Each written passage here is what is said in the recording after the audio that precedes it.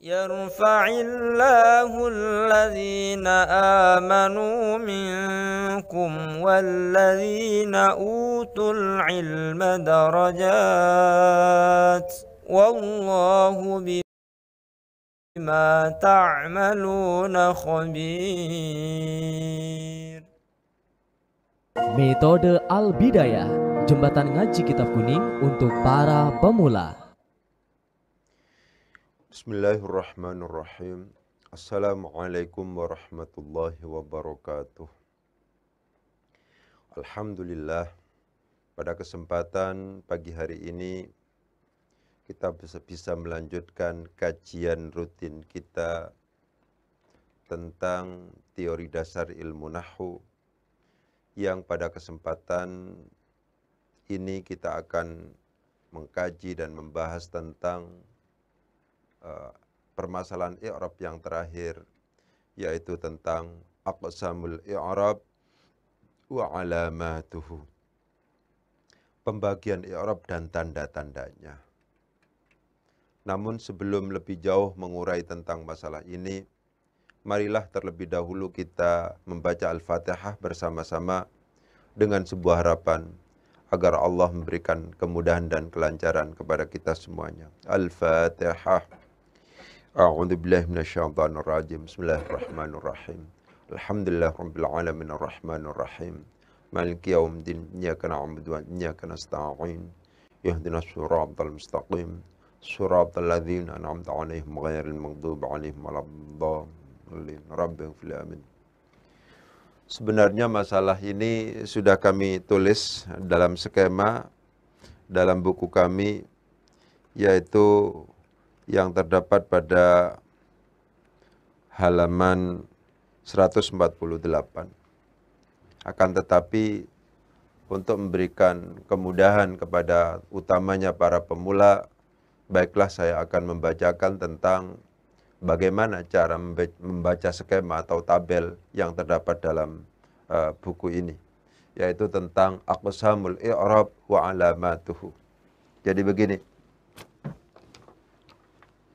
ini ada judul besarnya adalah tabel tentang pembagian i'rab dan tanda-tandanya. Sebagaimana kita tahu bahwa pembagian i'rab itu ada empat. Aqsamul i'rab itu ada arba'ah. Ada rofa, ada nasab, ada jar, ada jazm. Ya, ini tolong disorot, di, dikuatkan anunya. Jangan sampai tidak jelas. Begitu. Rofa itu tidak hanya ditandai dengan domah. Di samping domah ada juga tanda rofa itu yaitu waw. Ada juga alif. Ada juga subutun nun. Ya. Jadi saya ulangi lagi bahwa rofa tidak hanya ditandai dengan domah. Di samping domah ada juga wawu sebagai tanda rofa, ada juga alif sebagai tanda rofa, ada juga subutun nun atau tetapnya nun sebagai tanda rofa. Itu semacam itu. Ya. Jadi tabel ini memberikan gambaran kepada kita bahwa yang namanya tanda i'rab itu bervariasi, banyak macamnya. Misalnya rofa itu memiliki empat tanda. Ada dhammah, ada waw, ada alif, ada subutun nun. Kapan kita menjadikan dhammah sebagai tanda rofa? Kita menjadikan dhammah sebagai tanda rofa kalau seandainya yang sedang kita i'rabi rofa itu adalah berupa isim mufrad, jamak taksir, jamak muannas salim, yang yang ter, yang ke, yang keempat adalah al fi'lul mudhari'ul ladzi lam yattasil bi akhirih syai'un.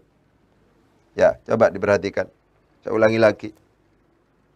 Kapan kita menjadikan dhammah sebagai tanda i'rab rofa? Ya. Kita menjadikan dhammah sebagai tanda rofa kalau seandainya yang sedang kita i'robi, yang sedang kita rofakan adalah berupa isim mufrad, berupa jamak taksir, berupa jamak muannas salim, berupa fi'il mudhari' yang alladzi lam yattasil bi akhirih syai'un. Ja'a rajulun di sini. Disorot ya. Rajulun di sini pakai dhammah. Kenapa kok pakai domah? Karena rojulan berjenis isim mufrad. Karena yang dibaca rafa di sini berjenis isim mufrad.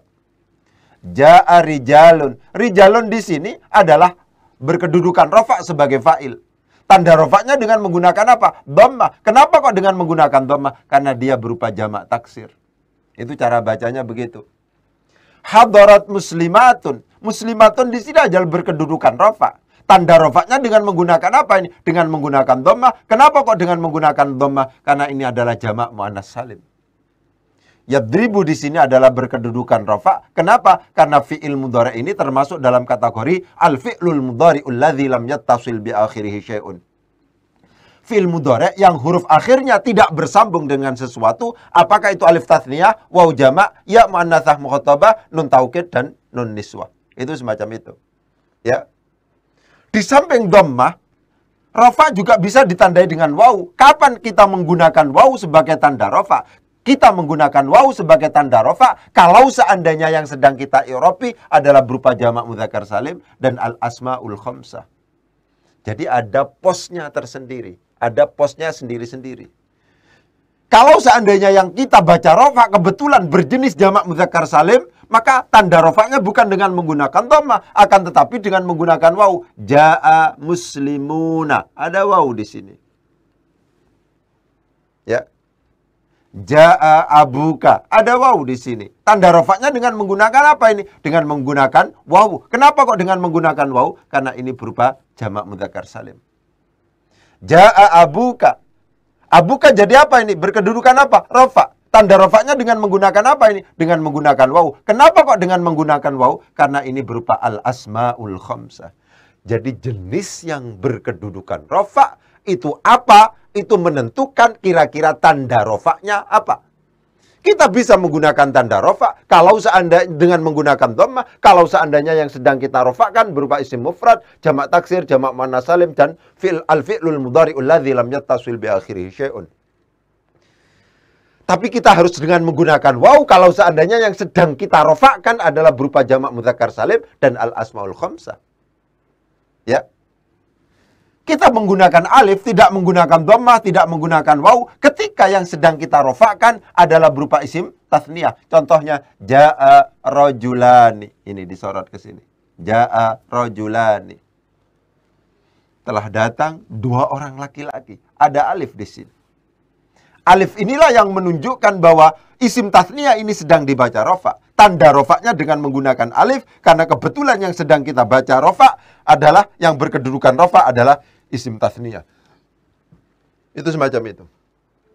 Pun juga demikian, rofa bisa ditandai dengan subutun nun, tetapnya nun. Kapan itu terjadi? Al, kalau seandainya yang dibaca rofa berupa al-af'alul khamsah, fi'il-fi'il yang lima. Yaitu fi'il mudhari' yang bertemu dengan alif tasniyah, waw jama' ya mu'annathah mukhatabah. Yaf'alani, taf'alani, yaf'aluna, taf'aluna, taf'alina. Kalau seandainya yang berkedudukan rofa adalah berupa al-af'alul khamsah, maka tanda rofaknya dengan menggunakan nun. Nun di sini. Nun di sini adalah merupakan tanda rofa. Kenapa kok kemudian dengan menggunakan nun atau subutun nun lebih disebabkan karena yang berkedudukan rofa adalah berupa al-af'alul khamsah. Ya, jadi penting untuk kemudian ditegaskan bahwa rofa itu tidak hanya dhammah. Rofa itu tandanya bisa jadi wawu, bisa jadi alif, bisa jadi subutun nun. Ada empat tanda di situ. Kapan kita dengan me, me, apa namanya menjadikan dhammah sebagai tanda rofa? Kapan menjadikan wawu sebagai tanda rofa? Kapan kita menjadikan alif sebagai tanda rofa? Kapan menjadikan subutun nun atau tetapnya nun sebagai tanda rofa? Itu semuanya sudah ada ketentuannya. Kalau seandainya yang sedang kita baca rofa adalah berupa isim mufrad, jamak taksir, jamak mana salim, kemudian fi'lu al-fi'lul mudhari'ul ladzi lam yattasil bi akhirih syai'un, maka tanda rofaknya dengan menggunakan dhammah. Tapi kalau seandainya yang sedang kita baca rofa adalah berupa jamak mudzakkar salim dan al asmaul khamsah, maka tanda rofaknya tidak lagi dengan menggunakan dhammah, tapi dengan menggunakan waw. Lain halnya ketika yang menjadi rofa atau yang berkedudukan rofa berupa isim tathniyah. Ya kan? maka tanda rofaknya dengan menggunakan alif.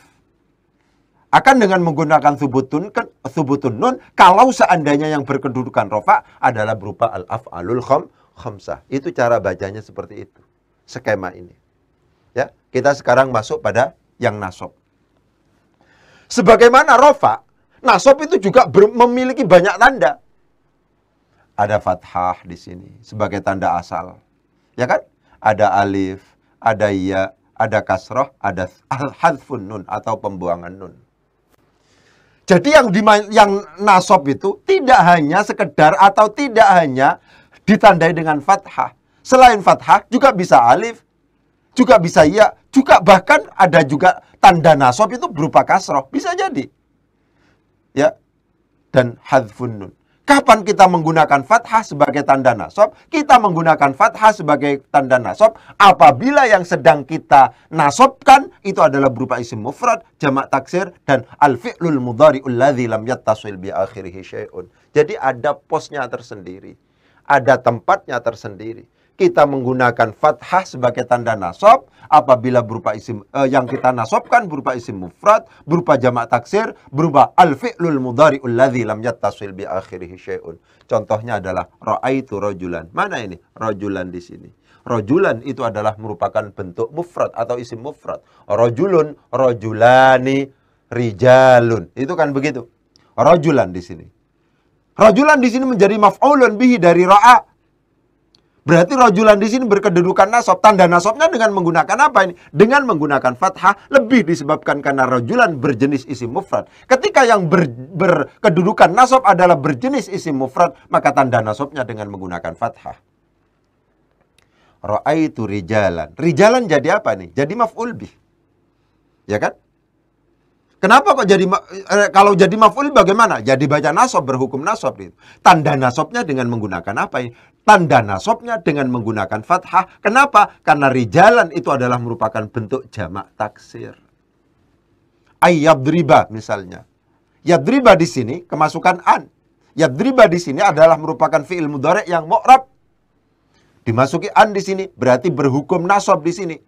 Tanda nasabnya dengan menggunakan apa ini? Dengan menggunakan fathah lebih disebabkan karena yadriba di sini termasuk dalam kategori al-fi'lul mudhari'ul ladzi lam yattasil bi akhirih syai'un. Fi'il mudhari' yang huruf akhirnya tidak bertemu dengan sesuatu, baik itu alif tathniyah, waw jama', ya muannatsah mukhatabah, nun taukid dan nun niswah fathah kita jadikan sebagai tanda untuk nasab. Kalau seandainya yang sedang kita nasabkan adalah berupa isim mufrad, jamak taksir, atau fi'lul al-fi'lul mudhari'ul ladzi lam yattasil bi akhirih syai'un. Kapan kita menjadikan alif sebagai tanda nasab? Kalau seandainya yang sedang kita i'rabi sebagai nasab itu berkedudukan nasab itu adalah berupa al-asmaul khamsah, maka tandanya bukan lagi dengan fathah, akan tapi dengan menggunakan alif. Ra'aitu abaka di sini. Abaka di sini termasuk dalam kategori al-asmaul khamsa. Isim-isim yang lima. Abun, akhun, hamun, fu, dhu. Itu termasuk dalam kategori al-asmaul khamsa. Abaka di sini berkedudukan nasab. Kenapa? Karena menjadi maf'ulun bihi. Tanda nasabnya dengan menggunakan apa ini? Tanda nasabnya dengan menggunakan uh, apa namanya? alif lebih disebabkan karena yang berkedudukan nasab berjenis al-asmaul khamsa. Bagaimana kalau seandainya yang berkedudukan nasab itu adalah berupa isim tathniyah dan jamak mudzakkar salim? Ketika yang berkedudukan nasab berupa isim tathniyah dan jamak mudzakkar salim, maka tanda nasabnya tidak lagi dengan menggunakan fathah, tidak lagi dengan menggunakan alif, tapi dengan menggunakan iya. Iya digunakan sebagai tanda nasab ketika yang berkedudukan nasab adalah berupa isim tathniyah atau jamak mudzakkar salim. Contohnya ra'aitu rajulaini, rajulaini, rajulaini, iya di sini ya ini disorot ke sini. Ya rojulaini gitu ya. Pakai iya di sini ya. Kemudian kenapa kok pakai iya? Ini, ini berkedudukan apa? Berkedudukan nasab. Sebagai apa ini? Sebagai maf'ul bi. Tanda nasabnya dengan menggunakan apa nih? Dengan menggunakan iya. Kenapa? Karena yang sedang berhukum nasab yaitu berupa isim tathniyah al, al ismu al muthanna isim tathniyah karena demikian maka dia dihukumi atau uh, tanda tanda nasabnya dengan menggunakan ya lebih disebabkan karena ini dengan menggunakan atau ber, ya, berjenis isim tasniyah. Pun juga demikian ketika misalnya yang berkedudukan nasab itu adalah berupa jamak mudzakkar salim maka tandanya dengan menggunakan ya juga.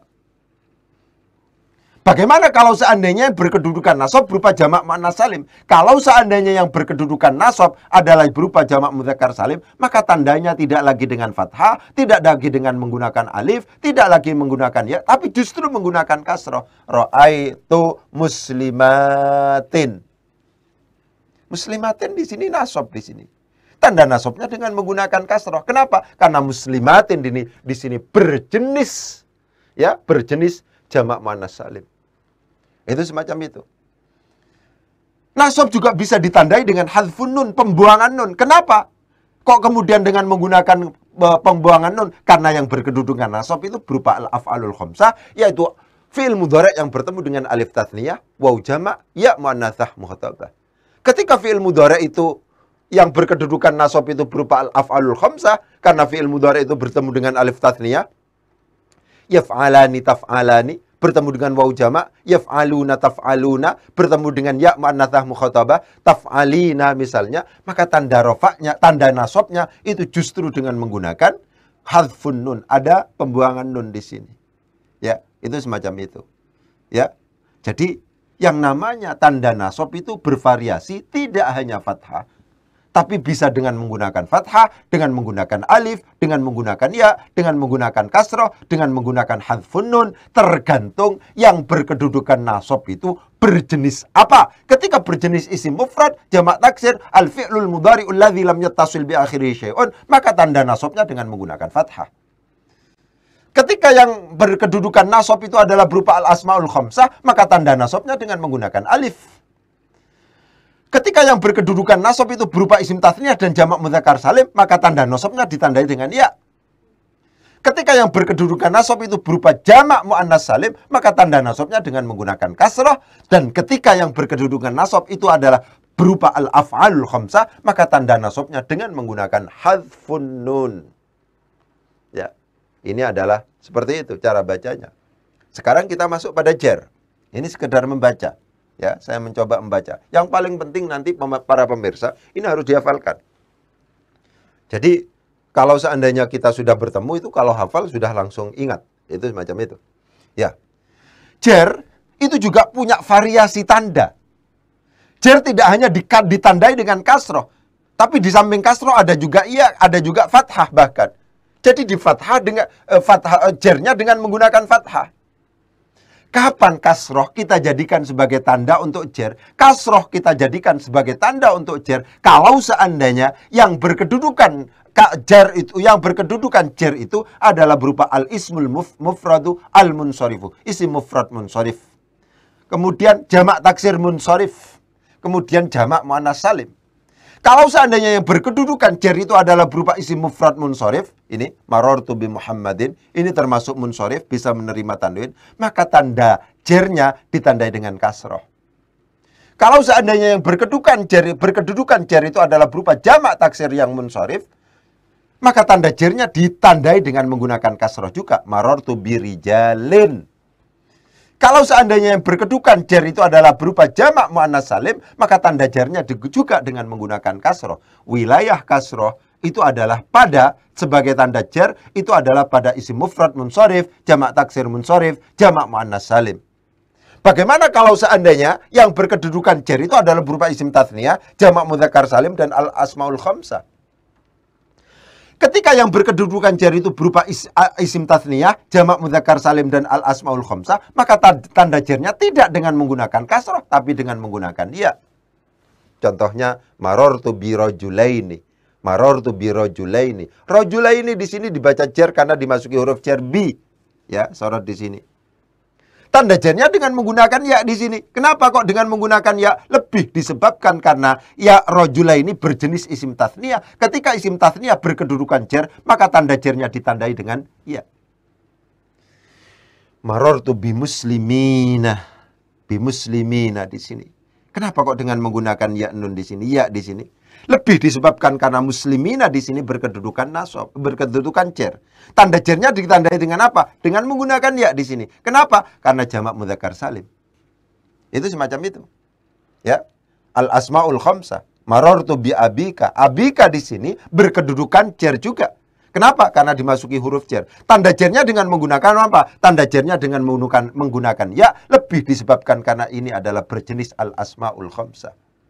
Ya, jadi cara bacanya begitu. Pun juga demikian, jer juga memungkinkan ditandai dengan fathah. Kapan itu jer ditandai dengan fathah? Kalau seandainya berkedudukan jer itu berupa al-ismul ladzi la yansarifu, isim ghairu munsarif. Marartu bi Ahmada. Ahmada di sini, Ahmada fathah di sini sebagai tanda bahwa dia itu adalah dibaca jer.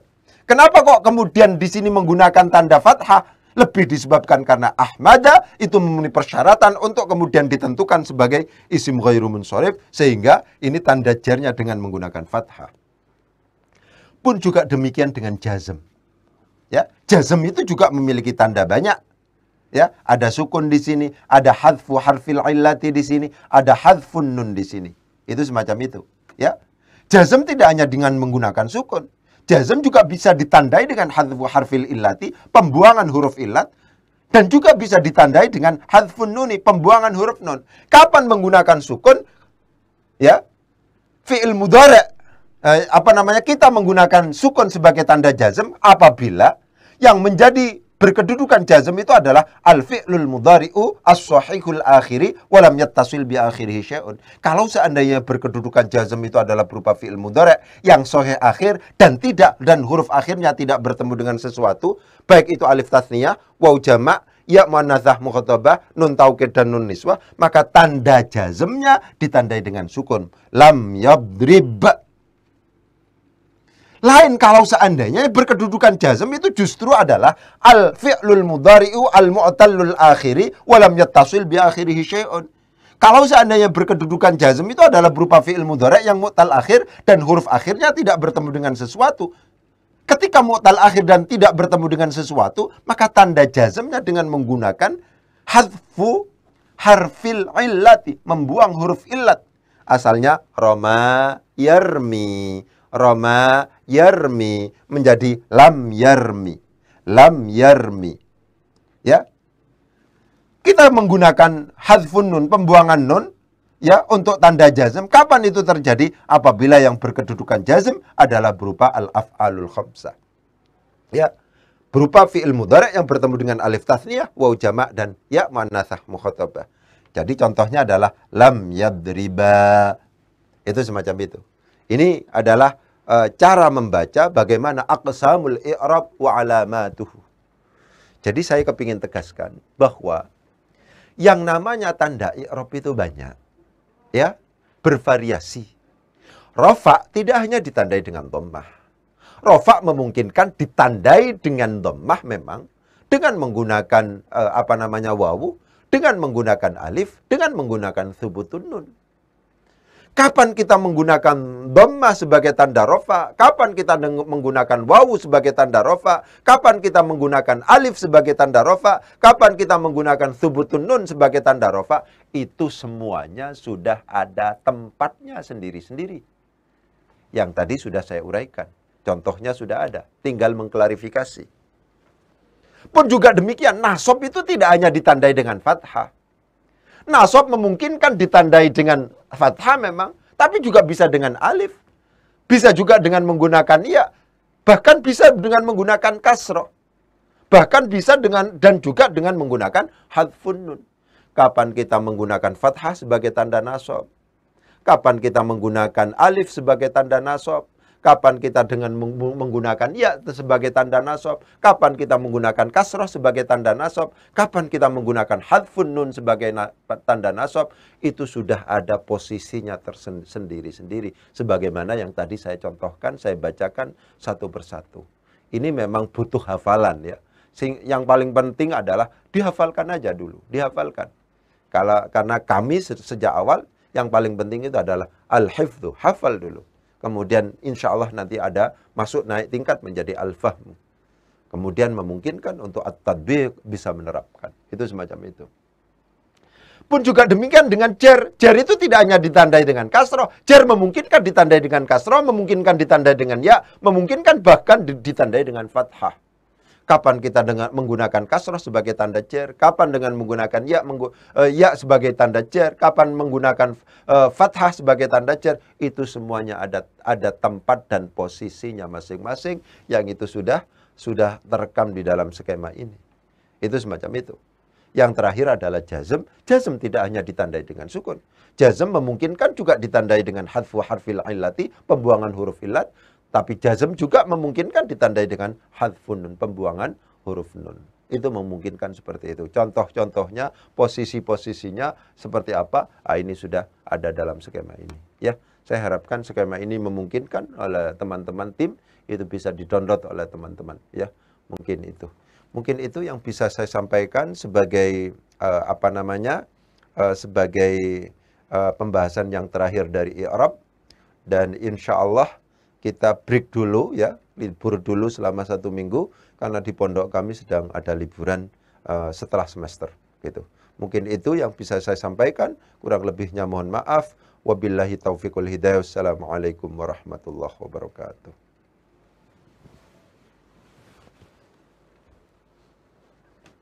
Apa orang ngono iku rek gak